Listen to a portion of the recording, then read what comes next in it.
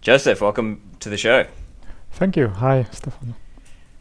So, Josef, I've been reading uh, some of your work on Bitcoin Magazine. You've been writing a little bit there. I know you're uh, over at Trezor as well. And you have a bit of a history in the Liberty and Austrian movements as well. So, let's start there with uh, some of your history in the libertarian and Austro libertarian world. All right. So, for me, uh, the way, the path to libertarianism was quite straightforward because I was lucky enough to study at uh, the University of Economics in Prague at the Faculty of Economic Policy. And that was at the time, it was like 2009 till 2011, when the Faculty of Economics uh, or the Faculty of Economic Policy was heavily populated with Austrian economists. Uh, there was uh, Josef Šíma, Professor Šíma, who uh, organized the translation of, Rod, uh, of Mises's Human Action uh, of stuff from Friedman, Hayek, Rothbard, and he was like the head of the department there. So our textbook uh, on economics was actually Rothbard's Man, Economy and State. So we were heavily influenced uh, uh with Austrian economics, and I fell in love with that. And after after school, me and some of my uh, classmates founded the Czech Mises Institute, which was just a copy of the American one. At that time, a lot of uh, these local Mises institutes uh, uh, sprang up around the world. And our idea was to continue with the work that uh, Liberal Institute in Czech Republic started with this, these publications of uh, stuff from Austrian economists.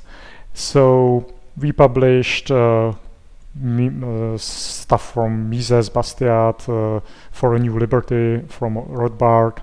We organized a summer school for high school students and university students, and it was just a way for us to keep in touch with uh, Austrian school and libertarianism while we were working uh, like ordinary corporate jobs. I see. So it was like your side project as a way to sustain uh, education out there. And so, where where is that nowadays? Well, um, I mentioned uh, Liberal Institute that was founded in 1989 in Prague, and around the time we founded the Mises Institute in 2010, the original institute, uh, founded in 89, sort of um, went into a coma because there were some internal struggles in the institute. And our Mises Institute then basically uh, took the job of uh, educating people in Austrian school and uh, libertarianism.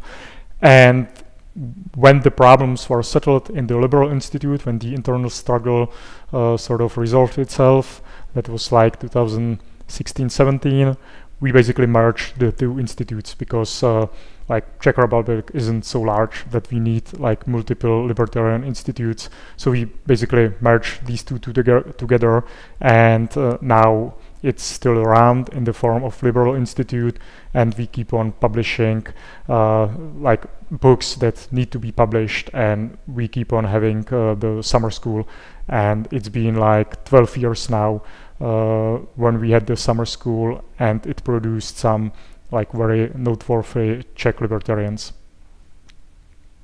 And in the time that it was operating, what was the main way of funding here? Was it through donors, or was it just through everyone in the organization just chipping in some money? Like, how was how was that organization sustaining itself?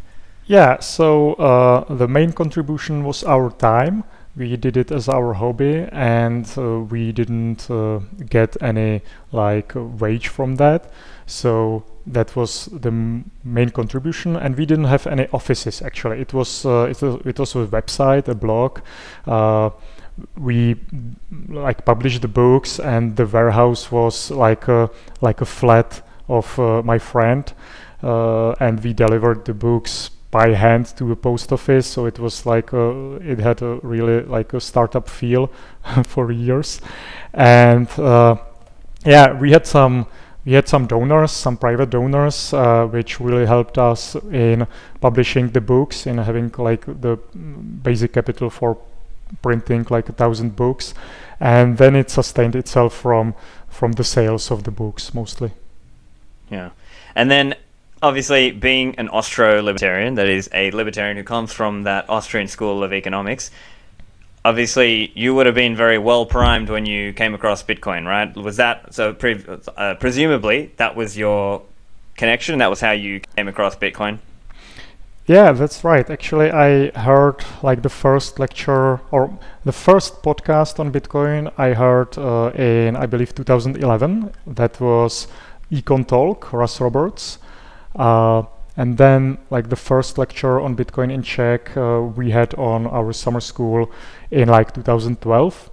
And it didn't click for me back then. We were like aware of uh, free banking, of uh, the idea of controlling not of the state not controlling uh, our money supply and not defining the money, uh, and it just clicked for me gradually in the like coming years in between 2012 2015 and yeah then basically uh, we, the Czech Austro, libertarians, became aware of uh, how the Austrian School of Economics is actually very compatible with the idea of Bitcoin.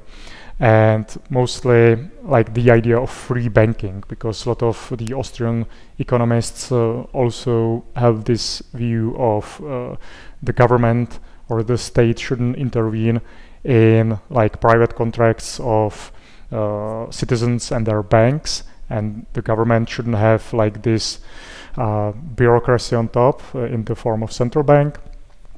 And uh, the free banking idea could be very well ported over to bitcoin and its ecosystem. So that made sense for us. Yeah so, for listeners who are new to Bitcoin and maybe they don't really see as much of that connection between Bitcoin and Austrian economics, what are some of the key ideas to understand there? Let's say somebody is new, they're trying to listen and learn a bit about Bitcoin. What is that connection? All right. So, one of my uh, all time favorite articles in economics is Hayek's The Use of Knowledge in Society.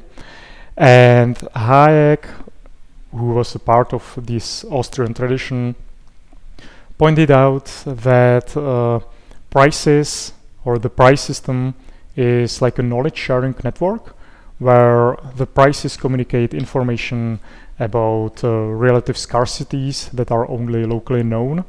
And in order to have a sufficient uh, division of labor and to be able to cooperate uh, in like large complex society that we have today we need to share these locally known um, data and prices do this in the most elegant way, just via a single number. And it's very important over which medium this signal is communicated.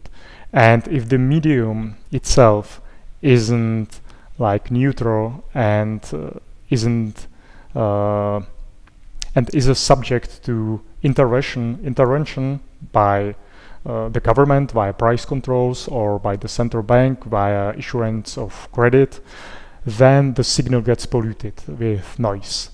So uh, for me and for lot, lots of Austrians, uh, the basic problem with money being controlled by the state is that uh, price signals no longer work real well. We have uh, investment bubbles, we have misallocation of capital, we have like the inflation tax in, in the form of Cantillon effect, and we need to uh, repair the this knowledge sharing network with having a proper medium for it, which is money that is neutral. Uh, and this is like the most convincing case for me for Bitcoin from the Austrian point of view, uh, because money pervades basically everything we do in a sufficiently complex society and we just need the proper medium for our prices to, co to convey the economic signals. Now, with Hayek, it is interesting because you might be able to argue that Hayek would have seen it more like, oh, there'd be lots of private competing currencies. So in our modern day, uh, online discussion, some have speculated that Hayek would have been a shitcoiner, right? Like he would have been like, oh, about all, about all the different coins, and not really seeing this reason, this driving push towards there being one best one. I'm curious, what do you think about that? Yeah, uh, you probably uh, you're probably pointing out his denationalization of yes, money, yeah. the book that he published towards the end of his life, when he actually uh, realized uh, his error because he was making the the error throughout his life where he considered money uh, as something that needs to be regulated by the state, and he realized his error towards the end of his life. But uh, yeah, he argues for competing banks to issue their own uh, currencies, but he still considered gold as the underlying money, uh, which is also why uh, like Bitcoiners don't always uh, describe Bitcoin as a currency or as a cryptocurrency because it's more it's better defined as money as something like gold used to be in the past. And sure, we can uh, we can issue some kind of currencies on top of it, and we could argue that uh, IOUs on exchanges are actually such currencies that maybe or maybe not uh, fully fully backed. Uh, but the underlying medium uh, used to be gold. Hayek argued for that, as well as most Austrian uh, economists, and Bitcoin is this underlying form of money nowadays. Yeah, and so it is an interesting uh, point there around how, uh, and I guess for listeners as well, this is also a point of difference between, let's say, the full reserve uh, banking camp and let's say the free free banking camp, because that might be a point of difference where, let's say, from the full reserve perspective, they might say, you you shouldn't these banks or exchanges should not be fractioning fractionalizing the reserves beyond what they actually have. And there's obviously in Bitcoin, as, as you're well aware, Josef, there's obviously this strong culture around self custody of coins. So from your point of view, how do you do you square that circle, or do you accept that, let's say, hypothetically, there could be exchanges out there who are secretly fractionalizing their reserves?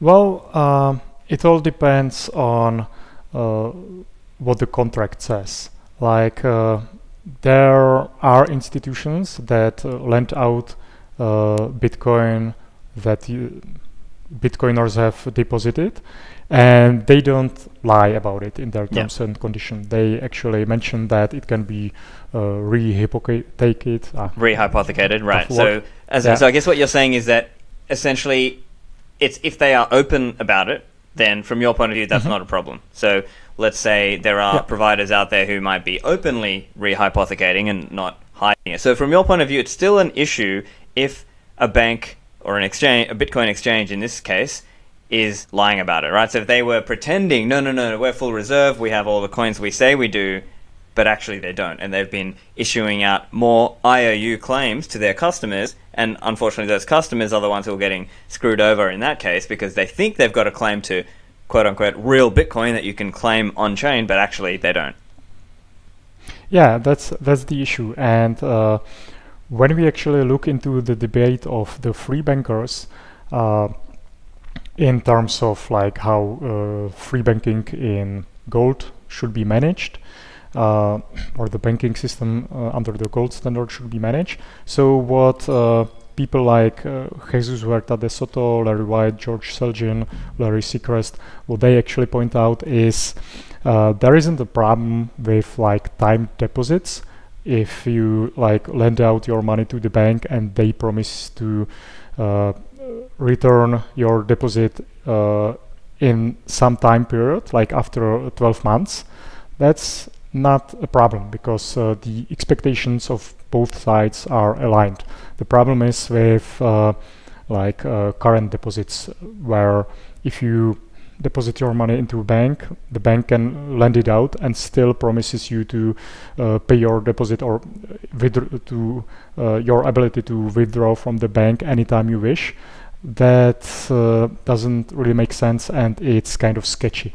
So, uh, like the full reserve, the 100% reserve argument is that if you don't have this time alignment between the uh, creditors and borrowers, uh, something sketchy is going on. And uh, Jesus Huerta de Soto actually wrote, uh, uh, it's, how is it called? Money, like Bank Credit, and Economic Cycles. Yeah, Money, Bank Credit, and Economic Cycles, which is like, most of it is basically like a legal argument. It's not really economic. Uh, he borrows a lot of like legal arguments and makes the case for why uh, fractional reserve banking, where there is this time mismatch, uh, is a type of fraud, basically, because uh, the, these promises cannot be fulfilled. So, at the end of the day, then it remains it, yeah so it remains to be seen what way the ecosystem goes but we are seeing things like proof of reserves being put out there. So kraken obviously one of the world's well-known us exchanges past sponsor of my show recently did put out a proof of reserves uh, audit. And i think they got a, a firm i think it was armanino who did an audit. And basically customers of kraken could now check the reserves. So that's an interesting technology that in some ways now is possible with Bitcoin. And so maybe Bitcoin actually changes that debate somewhat. Yeah, that could be possible. And uh, we probably need to settle this uh, before Bitcoin actually develops any sufficient credit market because nowadays nobody basically takes uh, loans in Bitcoin. And uh, so the exchanges aren't faced with like the decision how to match like the borrowers and uh, creditors.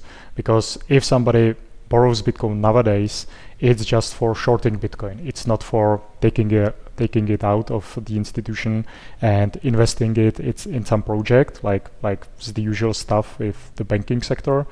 So uh, yeah if we uh, like uh, normalize proof of reserves and this idea that uh, all the liabilities should be matched with deposits uh, before this credit uh, market develops, that will be great. That like then the whole argument about full reserve versus fractional reserve would be settled. It's easy to settle with Bitcoin with uh, the proof of reserves.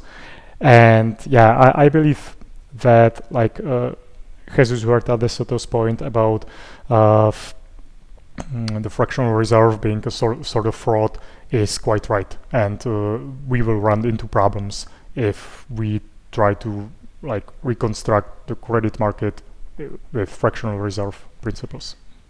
Yeah very interesting. And it's a good point that I, nowadays basically it's not a thing that people are directly borrowing bitcoin. Really what's going on is it's typically somebody is putting up bitcoin as collateral and they're borrowing fiat against it. Or in some cases yes uh, you know there are there have been instances where let's say there were Bitcoin banks or exchange providers who would loan Bitcoin out to let's say a trading firm, and they're playing this arbitrage game where they can uh, they actually do need to borrow some Bitcoin, and they might be shorting or they might be doing some other uh, activity that requires them to be able to quickly access this Bitcoin liquidity. Uh, but it it sort of it does come back to that idea of what does the market really want? And if the market over time shows hey we want proof of reserves we want full reserve then you know that that's one side. Now the other side now personally i'm more in the full reserve side myself of course but just out of curiosity let's say there are exchanges out there doing fractional reserve and so on. I guess the question that might be interesting is will businesses who participate in, let's say, the fractional reserved economy of Bitcoin in that hypothetical world, would they be suspect to, let's say, the business cycle theory or you know, that expansion of credit beyond the amount of voluntary saving? I think that's probably an interesting question. If, if on one side you've got this fully reserved side, and on the other side you've got this fractional reserved economy in a Bitcoin economy world, how do you see that playing out? Like, would you see these businesses on the full reserve side being lacking in competitive competitiveness versus the fractional side because they can access more resources? Or do you think it's actually the other argument would be maybe that side is not sustainable without a central bank to be able to bail out the fractional reserve um, side companies mm-hmm. who didn't uh, who weren't careful enough, let's say. Yeah, it's uh, probably tough to predict, but the case would be that the fractional reserve institutions would uh, basically be able to offer lower interest rates. So that might be tempting for mm, the business entrepreneurs to, and investors. Yeah, yeah, to take credit there. Uh, on the other hand, uh, I don't know what the like deposit interest rate would be. It would probably be lower as well, so it wouldn't be as uh, interesting to the depositors. Uh, and yeah, like the first uh, bank run on such an institution would probably be a wake up call because, as you say, there are no bailouts in Bitcoin. So, uh, yeah, uh, like there will be uh, liquidity crisis. There could be like uh, you know, bank runs under Bitcoin, like Bitcoin banks sort of uh, world. Uh, but the the amount of like errors would not accumulate.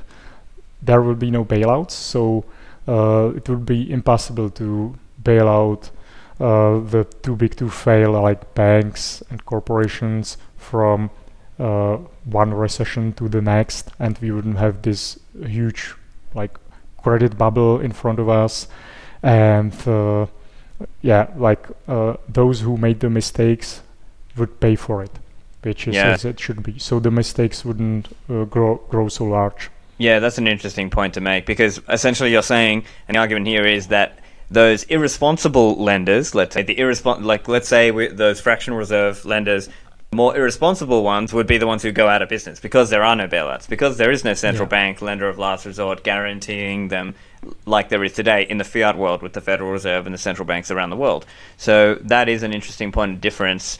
I yeah, I, I, I still, I still believe it's going to tip towards the full reserve side, but we have to wait and see what the market chooses. I think. Um, so.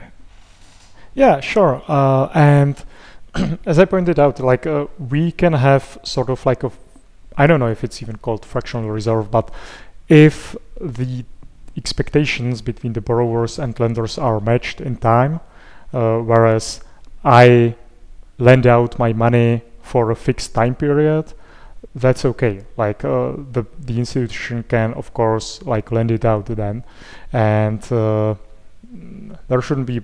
this doesn't lead to a risk of bank run because I cannot uh, I cannot redeem my deposit before it's due.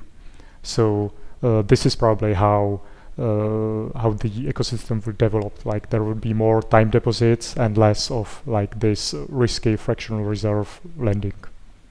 I'm also curious while we're here, the difference in let's say borrowing and debt culture might be very different. Like let's say it moves into a fully full reserve world. The way I'm seeing it is it's really going to be massively more of an equity driven world as opposed to debt driven because you would own a stake in things as opposed to borrowing because borrowing like hypothetically, the interest rates would just be so high to borrow uh, that it's just going to change the way things operate. But let's say we lived in that hypothetical Bitcoin fractionalized world where, let's say, there's a bunch of openly hypo- rehypothecating banks or Bitcoin exchanges, whatever you want to call them.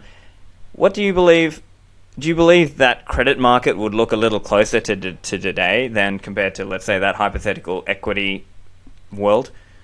Yeah, credit market would probably deflate a lot. Like uh, the amount of uh, issued debt would be much lower, and on the other hand, uh, like it will be probably closer to uh, what is called like Islamic banking today, where uh, if you want to invest into some venture, you don't actually lend out money; you just uh, buy a portion of the equity.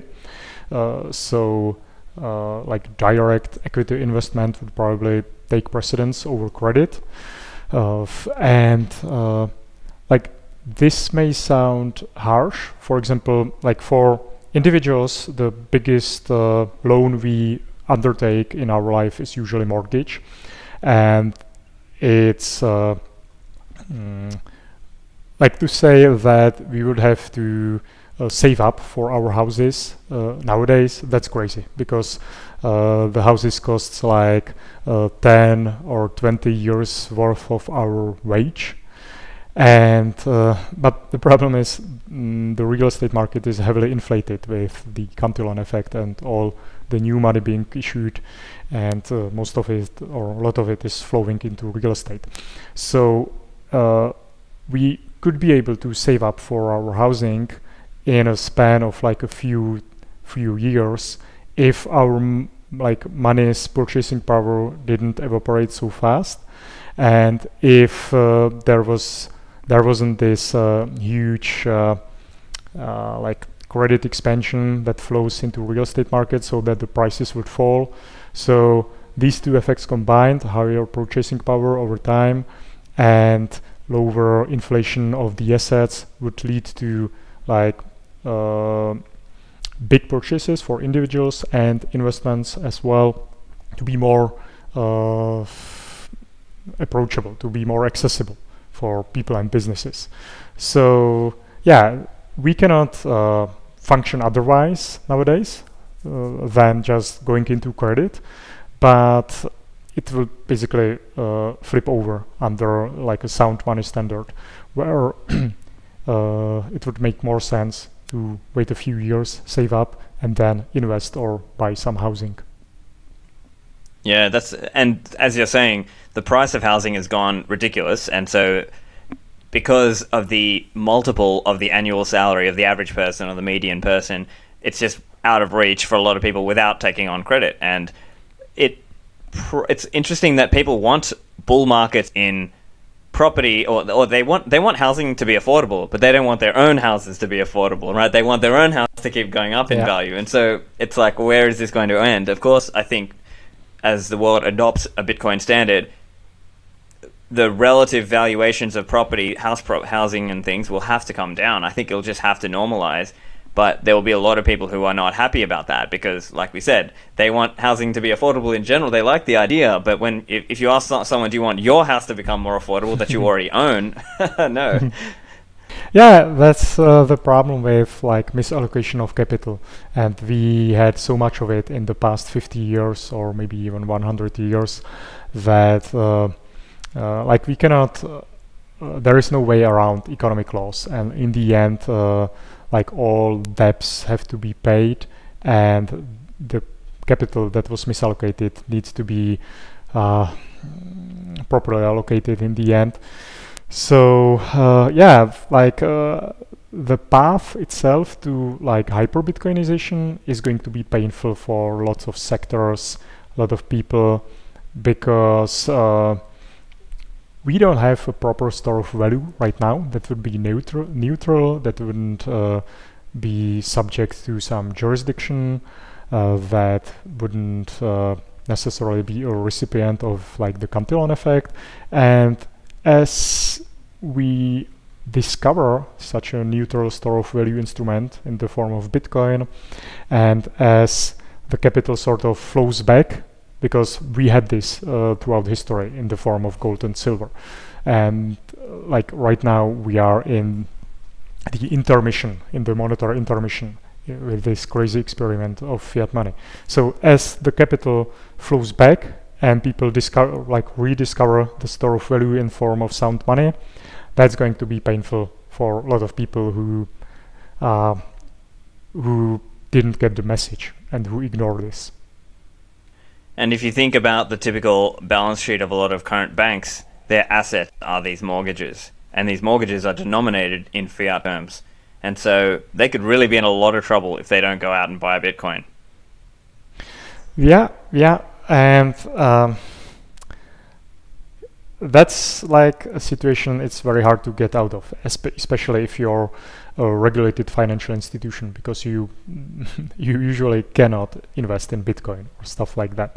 You are forced to hold uh, like government bonds, to hold these mortgages, and you just have to uh, sit on this sinking ship without like uh, having any lifeboat to jump into. So uh, yeah, that's a very tough spot. And it seems like the central banks are sort of realizing that the banking sector is sort of doomed. And you have probably seen uh, the proposals to have CBDC that basically circumvents the banking sector, where like the commercial banks are basically no longer needed. So like it's uh, it's crazy being in these banks, even understanding what's going on, and there are like uh, uh, banks like Saxo Bank, I believe, where they sometimes issue like high quality analysis even uh, concerning Bitcoin. And I, I'm I really don't know like what's what's the what's the exit plan there. Like how can they save themselves?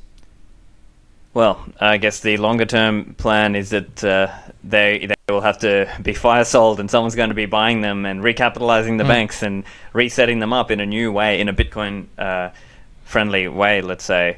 Um, now, you mentioned um, economic laws earlier, and one of your articles you wrote about this idea of Nakamoto Gresham's law. So, I guess before we get into that, do you want to first explain for people what is Gresham's law? Sure. It's uh, actually one of the oldest economic insights uh, by Thomas Gresham in like 16th century, and he uh, witnessed how like uh, the co-circulation of two types of money, uh, what sort of dynamic it produces.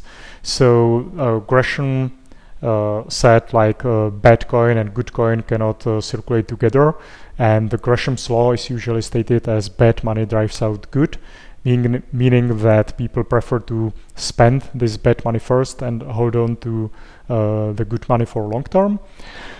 And uh, this doesn't actually tell us that much, like what is bad money, what is good money, and what does it mean that it drives out uh, the other type of money. So I like uh, Murray Rothbard's definition who uh, restated Gresham's insight as uh, money overvalued by government drives out of circulation money undervalued by government.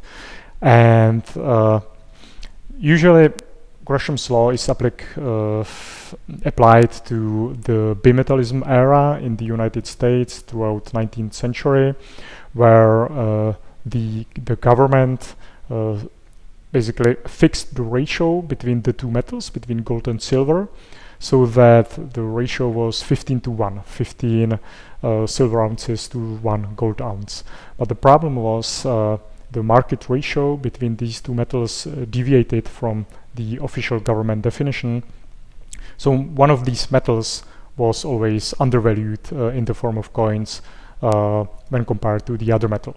So when silver was undervalued, uh, gold was used as the medium of exchange and silver was uh, driven out of circulation, meaning it was used as a store of value.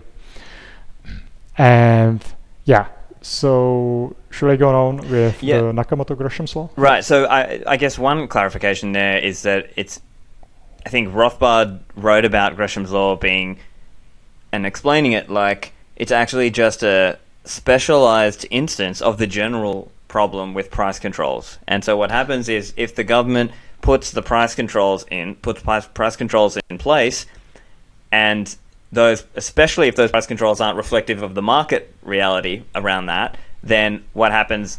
Uh, to think one way to think about it is people just decide, well, it's better for me to hold this one and spend that one because this one the, government has mandated that merchants accept this gold or silver at this specific exchange ratio which is out of whack, is out of price, and so they, they decide to hold the one, obviously keeping more value for themselves. Uh, so, could you just explain a little bit about this Nakamoto Gresham's law? Yeah, yeah, and thank you for that point. It's a good insight that uh, it's actually an instance of price control where you have surpluses on one side and shortages on the other. So the Nakamoto Gresham's law, uh, I, I was thinking about how Gresham's law is actually applicable to Bitcoin, and Bitcoiners sometimes invoke this Gresham's law to uh, describe like the relationship between fiat and Bitcoin. But the problem is uh, the original Gresham's law uh, only works if the government sets the ratio between the two currencies. And uh, the state today uh, it basically regulates the value of fiat, but it doesn't regulate the value of Bitcoin. So we have like state money on one side and the non-state money on the other side. So Gresham's law isn't really applicable, but we can sort of salvage uh, Gresham's law and its useful insight if we drop like the uh, condition that uh, the government has to set the ratio between the two types of money and instead we look into uh, how the monetary policy, policy, the issuance schedule of the two types of monies play out in the future and what's the expectation on the future value. And we know that fiat is basically, it has no limit in issuance. Uh, the central bank, along with the banking sector, can issue as much dollars as possible. We have central bankers saying that uh, uh on air actually. And when we consult like the uh, M2 money aggregator, we can see it's actually exponential. Uh, there's more and more dollars in issuance. And we also know that Bitcoin, uh, Bitcoin's monetary policy is uh, actually quite the quite the opposite. It's flattening over long term, and there will be just 21 million. It has a fixed schedule. So uh, when we sort of uh, take this into account, we can say that fiat is going to decrease in value forever. Uh, that's just the nature of fiat's monetary policy. And we can also say that Bitcoin is going to increase in value forever, especially in terms of fiat currencies. So uh, the Nakamoto-Gresham's law then says that Bitcoin drives out fiat as a store of value, and fiat in turn drives out Bitcoin as a medium of exchange. Because if we still have some fiat to spend, we want to spend this first. And if you have an access to Bitcoin, we want to save in Bitcoin. And it doesn't make sense to do it otherwise if we have both of these types of monies.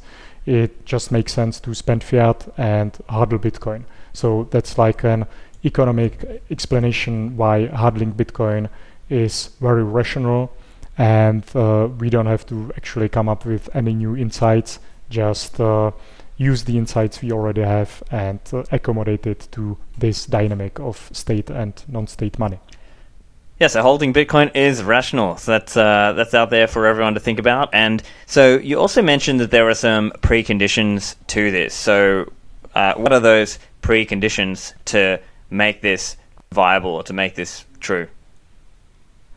Oh yeah, sure.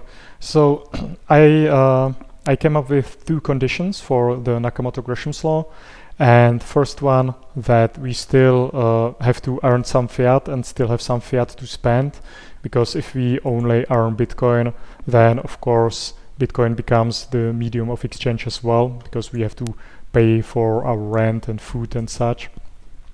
And the other one is that fiat is still usable for our transactions. Uh, because it could be the case that I'm making uh, some wage in fiat terms, but I cannot actually purchase stuff that I need uh, to buy. Uh, like if if I'm in some developing country and I need to do some cross-border transactions and the banking system isn't there or uh, it's sanctioned or stuff like that, then I have to use Bitcoin. So the two conditions is I still have to earn some fiat and the, the other one is fiat still works as a medium of exchange uh, to satisfy my needs which is not the case for some bitcoiners and for some countries. So um, spending bitcoin is actually rational as well if you do not meet these two conditions. If uh, your earnings are just in bitcoin and if for example you're in venezuela and you cannot buy uh, like drugs uh, in terms of, like medical drugs uh, from abroad, and you need to find uh, a means of exchange uh, that facilitate that, and that's uh, that could be Bitcoin. I see, and so essentially, yeah, as you're saying, basically for people who still have fiat income and they can still spend fiat income, well then, okay, it's it, it, still applies. But let's say somebody is all in Bitcoin and they only earn Bitcoin, well then obviously they're going to have to spend spend some. Um, but these are only yeah. these are a small number of people. Uh, but of course, it that even that number of people is growing over time, and it still contributes to that overall network effect, being able to spend Bitcoin. Um, but I think the important part is, as you're saying, is how many people are hodling Bitcoin. Yeah, yeah. Uh, like I get the argument with the need to build up circular economies, but uh, that's more like an ideological argument. Like uh, I am happy to spend Bitcoin with a merchant uh, uh, as a way of support if I know the merchant is going to hold on to Bitcoin, but uh, I don't do it because uh, it's more convenient convenient for me or more comfortable or anything because uh, like payment systems in Czech Republic are heavily advanced. We have like a credit and debit cards we have uh, nfc payments apple pay and stuff and that's very comfortable so um, i don't need another paypal i don't need other another like uh, fast medium of exchange because we have instant uh, instant transfers here. Uh, what I need is a proper predictable store of value for like long-term preservation of my purchasing power. So the economic uh, incentive for me is to hold on to Bitcoin and spend fiat. And sure, there could be like an ideological case of uh, spending Bitcoin, but it's not economic. I see. It's not uh, like uh, based in economics. Great. And so, in your view, then, is it a problem that Bitcoin is not widely used directly as medium of exchange? Well, uh, it's used as a medium of exchange where it makes sense, uh, like for the cross-border payments, uh, for payments where I need an increased uh, level of privacy and I'm actually able to like use Bitcoin in a private manner. Uh, for uh, like recently in Canada, we saw that uh, fiat can actually be become quite useless as a, me a, medium of exchange if your accounts are frozen. So in that in that instance, it makes sense to use Bitcoin because you cannot use anything else. Uh, but usually, even in those cases, uh, if you still have some cash, then cash is the king because it's very private. Uh, it's basically censorship resistant, but you have to be able to physically hand it over. So Bitcoin as a medium of exchange makes sense when, uh, when it has some benefit over spending fiat. It could be privacy, censorship resistance, uh, and like we are not going to increase the adoption of Bitcoin, and we are not going to uh, arrive at hyper Bitcoinization with like altruistic payments. We need the economic incentives to work. And the economic incentives right now, in the Western countries at least, lead us to hodling Bitcoin and spending fiat. Especially in the case where there are capital gains taxes involved. Uh, but in some countries, they don't have capital gains taxes, or in some certain situations, it, might make sense. So an interesting one to see where that develops. Uh, also, wanted to get your thoughts. I know you're at Trezor, of course, and uh, you also wrote a little bit about Taproot and hardware wallets. So, can you just give an overview? What kind of benefits do you see coming with Taproot for hardware wallet users? Sure. So, the main benefit for Trezor and for hardware wallets in general is Taproot makes uh, CoinJoin uh, practical. Uh, it was possible to like construct these CoinJoin transactions before with hardware wallets, but uh, they would have to be very small in size, so it, it wouldn't help that much with privacy. And with Taproot, uh, due to like uh, technical obstacles of like uh, legacy transactions, it was impossible to construct these CoinJoin transactions. And with Taproot, it becomes possible and practical. So uh, we in Trezor are working uh, on the CoinJoin implementation. It's going to be based on the Wabi-Sabi protocol. And uh, throughout this year, we should introduce this in our Trezor suite, which is the accompanying app for Trezor. And that's that's the main uh, that's the main benefit of Taproot in hardware wallets for now. and in the future, uh, the benefits would be uh, the being like having the ability to uh, like let me mention one other thing. Uh, the other good benefit is, uh, of course, any kind of multi-signature uh, transactions, which become cheaper and more private. Uh, but in case like people don't uh, perform these transactions, then like most interesting benefit will be uh, opening up and closing and managing Lightning Network channels because these transactions are multi-sig as well.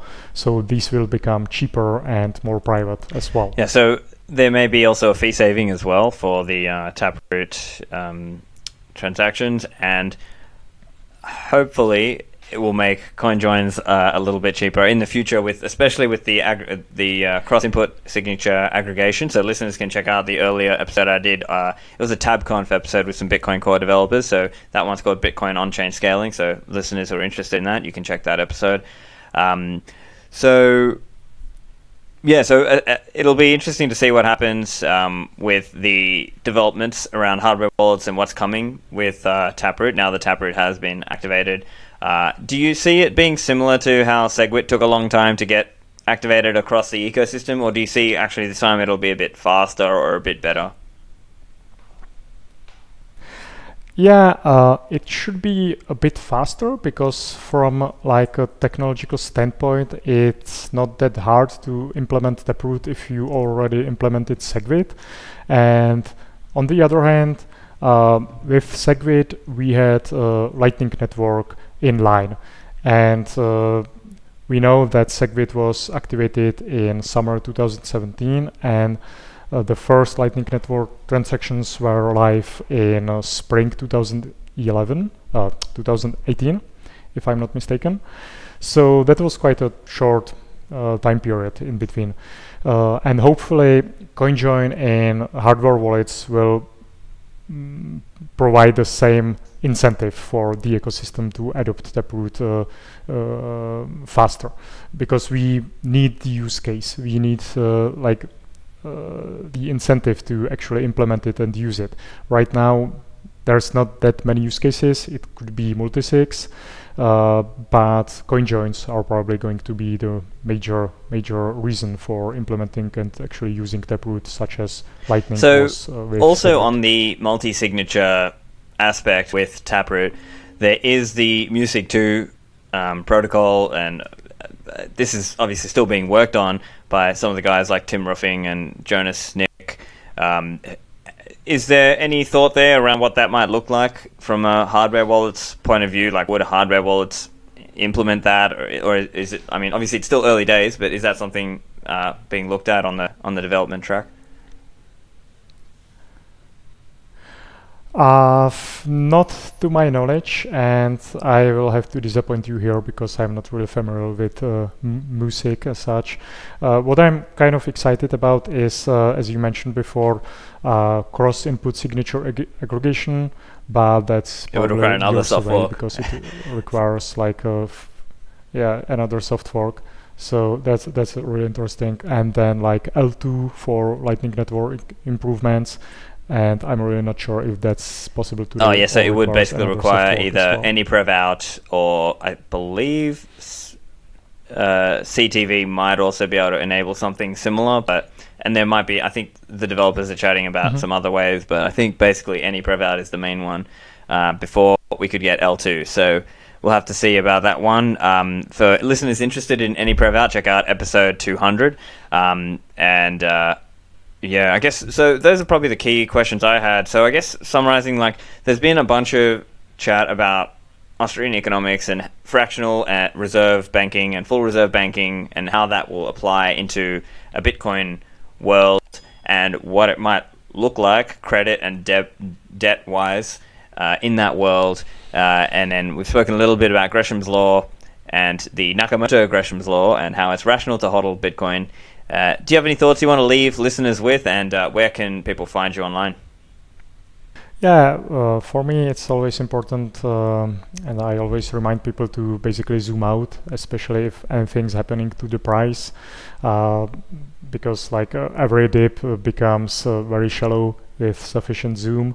Uh, so zoom out, uh, learn about why Bitcoin matters, why there's a good case to be made that it's actually uh, global non-state money, and why it makes sense to, like as Satoshi said, get some in case it takes off, and it seems like it's taking off quite well. And sure, um, I'm at uh, I'm on Twitter as at uh, Sats Joseph. I write for Bitcoin Magazine. You can find my uh, Bitcoin Magazine articles under my name, Josef Tětek. And uh, yeah, I was really happy to be here and hope I'll meet you in Prague or Miami or on some of these conferences. Yeah, hope to see you there. Thanks very much, Josef. Thank you.